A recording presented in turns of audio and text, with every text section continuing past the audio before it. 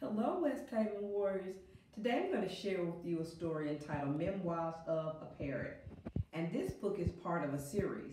If you enjoy this story, you might also enjoy Memoirs of a Hamster and Memoirs of a Goldfish.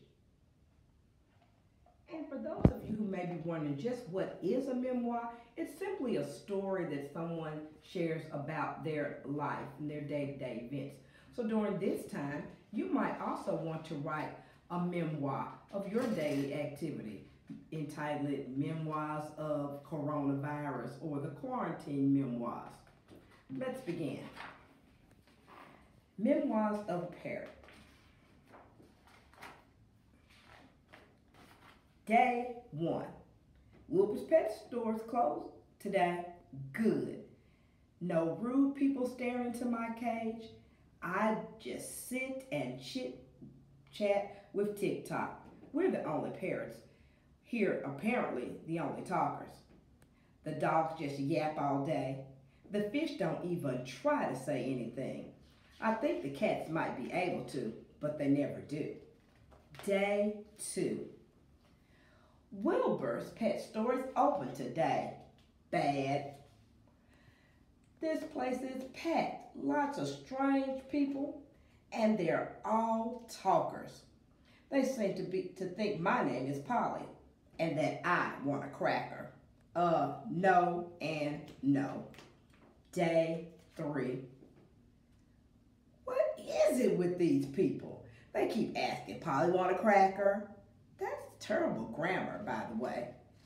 TikTok says, I should try to enjoy the attention. Please, I'd rather gargle a pine cone. Day four. I'm exhausted. Today a guy spent an hour asking me my name. I kept telling him, Brock. I said, Brock, Brock, Brock. He looked very disappointed. I guess he wanted me to say something else like Polly. Day five. He's back. His name's Todd. And he won't leave me alone. TikTok says one day I may have to go home with Todd. Yes, apparently I'm for sale. That's a heck of a thing to find out. Go home with Todd? Please, I'd rather eat a pile of stink berries Day six. TikTok was right. Todd handed Wilbur some money and he's taking me home. This is terrible.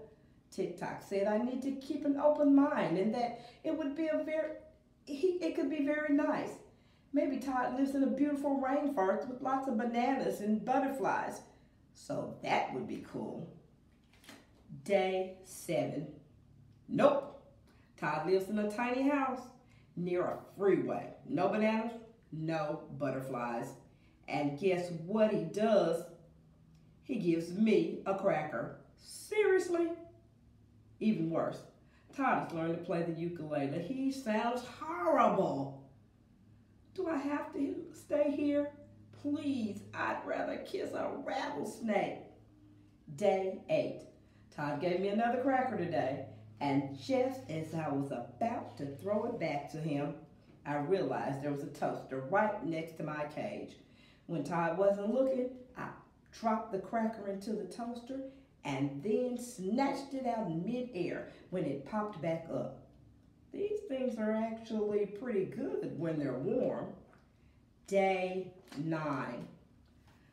Todd came in today with another cracker. He said, say thank you. So I did. Crop, I said. No, he said very slowly. Thank you. So that's it. He wants me to speak his language. Fat chance. Oops. I said. He sighed and sat down to play his ukulele. Day 10. Here he goes again, Todd in his language. He has his language and I have mine. Only it's worse now because he decides my name is Echo. Echo, he says. Echo? Brock, I said. Brock. Echo. Brock, this goes on for hours. Dude, give it up. Day 11. Today, Todd took me back to the pet shop. While he complained about me to Wilbur, I complained about him to TikTok. He's awful, I said. He won't even learn my name. But you've got a nice cage, asked TikTok. Yes, very nice, I said. And he keeps you warm and dry? Yep, I said, warm and dry. He feeds you? Um, yes, I said. Toasted crackers, some figs, pretty good. TikTok said, he sounds nice. Maybe he's just not that bright.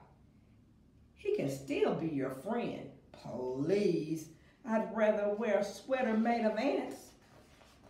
Day 12. So get this. After two hours of Todd's English lessons, he said, Echo, maybe you're just not that bright. What? Not that bright. I speak 17 languages. I can name all the moons of Jupiter. I can count to a zillion backwards twice, Todd said. It's okay, Echo. You can still be my friend.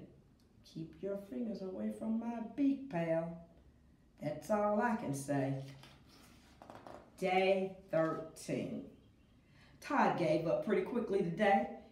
It's pretty frustrating. He's learning his ukulele, but he doesn't really want to learn his parrot. His loss. I'm not saying anything. My beak is sealed. Day 14. I'm sitting here eating a fig and listening to Todd play. He's actually getting pretty good. I know, I know, music and figs, how can I complain? But either Todd needs to learn to talk like me or he can take me right back to Wilbur. I could explain this to him, but please, I'd rather set my feathers on fire. Day 15. I nearly set my feathers on fire. Today changes everything. Todd went to bed last night and he decided to toast a cracker. I waited for it to pop up and waited and waited, but it never did. Suddenly, a lot of smoke started pouring out of the toaster. There was no keeping quiet any longer. Todd! Todd! Todd! I hollered. He woke up, smelled the smoke, and just ran out of the house. Sure, save yourself, I thought. The toaster just kept bleeping smoke into the cage. Suddenly, Todd came running back into the kitchen. I thought he was coming back for his ukulele, but I was wrong. He came back for me. Todd reached right into the smoke and unplugged the toaster. He grabbed my cage, took me outside, and started fanning fresh air to my face. He'd saved me. I couldn't believe it, but he'd saved me. He pulled me out of the cage and said, Echo, are you okay? Are you okay? What else could I do? Thank you, I said. He looked at me and leaned closer. What?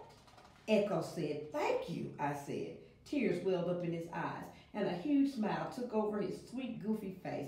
You're welcome. You're so welcome, he cried.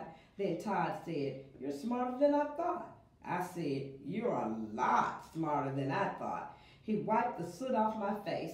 That was nice. He sat me on his shoulder, and we watched the moon come up while we waited for the smoke to clear. Things are different for Todd and me. He still plays that ukulele, but now he plays and I sing in his language, and that's okay. We can still be friends, my best friend, Todd and me. We're staying together for keeps. Please, there's nothing I'd rather do. Memoirs of a Parrot. I hope you enjoyed it. See you next time.